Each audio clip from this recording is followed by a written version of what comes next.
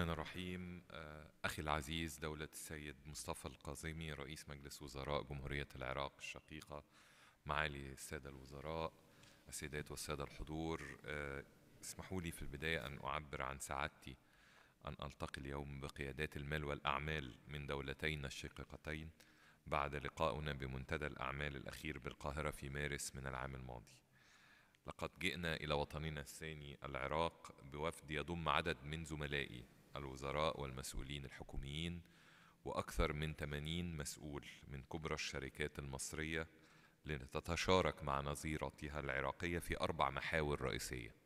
المحور الأول هو تنفيذ توجيهات القيادات السياسية في مصر والعراق والأردن والصادرة في بيان القمة الثلاثية والتي تضمنت ربط شبكات الكهرباء والبترول والغاز ومشروعات الطاقة والمناطق الاقتصادية المشتركة والاستفادة من الإمكانات الوطنية والسعي لتكامل الموارد مع التركيز على قطاعات الصحة والتعليم والطاقة والتجارة البينية وتشجيع الاستثمار المشترك والتعاون الاقتصادي والاستفادة من دروس جائحة كورونا.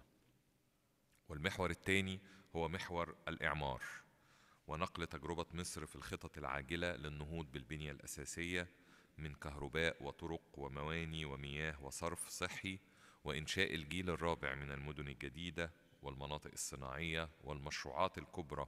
مثل محور قناة السويس واستصلاح الأراضي وتطوير نظم الري وإنشاء المزارع السمكية. المحور الثالث وهو التعاون الثلاثي من خلال إنشاء مراكز لوجستية ومناطق صناعية والأهم والعاجل هو إعادة تأهيل المصانع العراقية المتوقفة بخبرات وشركات ومستلزمات إنتاج مصرية لنصنع سويا وننمي صادراتنا المشتركة إلى دول الجوار.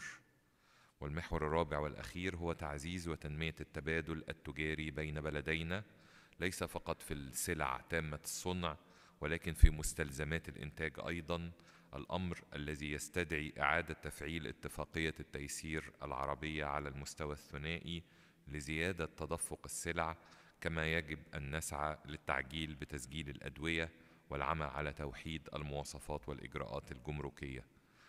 هذا ما يجب أن نسعى إليه جميعا أمس واليوم قبل الغد. وباسم مئة مليون مصري أشقائكم اسمحوا لي أن أتحدث من القلب. لقد شدد فخامة السيد الرئيس عبد الفتاح السيسي على حتمية مساندة مصر للشقيقة العراق لتعود كما كانت قلعة الصناعة والزراعة العربية وهي إرادة شعبية لأبناء مصر قبل أن تكون توجها سياسيا. وكذلك هي رغبة صادقة جلية للقطاع الخاص المصري المشارك معنا اليوم. فنحن لا يمكن أن نتعامل مع الشقيقة العراق كسوق فقط. نبيع به منتجاتنا وخدماتنا إنما نبغي شراكة حقيقية تنمي شعبينا ودولتينا وتخلق قيمة مضافة وفرص عمل لأبنائنا سويا. إننا نسعى لتكامل مميزاتنا النسبية حيث سيقوم القطاع الخاص المصري بدعم كامل من الدولة بالعمل على إعادة تأهيل وتحديث الصناعة العراقية القائمة سواء سويا أو بالشراكة مع الشركات العالمية. وتوفير مستلزمات الإنتاج والتدريب والعلامات التجارية بهدف التصنيع المشترك ليس فقط للسوق العراقي ولكن للتصدير المشترك إلى دول الجوار. أيضا وبالمثل في إعادة الإعمار من خلال خلق شراكات بين المكاتب الاستشارية وشركات المقاولات والموردين من بلدينا وربطهم بكبرى الشركات العالمية وهيئات التمويل الدولية لخلق تحالفات قوية تسعى لتنفيذ مشروعات البنية التحتية بأكبر مكون محلي ممكن.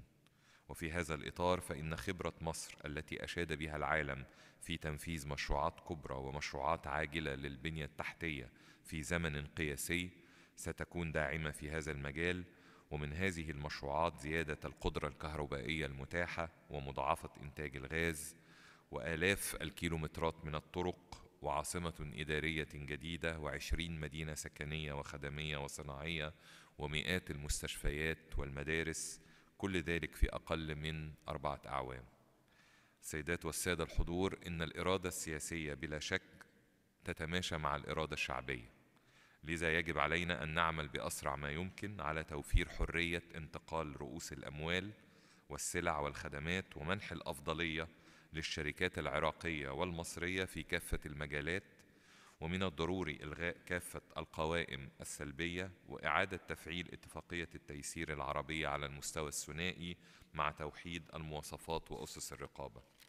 ومن المهم أيضا أن يتم السماح بانتقال الشاحنات بما تحمل بحرية ويسر خاصة أن البرلمان المصري قد صدق على اتفاقية التير للنقل العابر والمفعلة في الأردن وكافة دول الجوار للعراق وبانضمام العراق المتوقع قريبا ستصبح مركزا لوجستيا إقليميا هاما مرتبطا بمحور قناة السويس العالمي.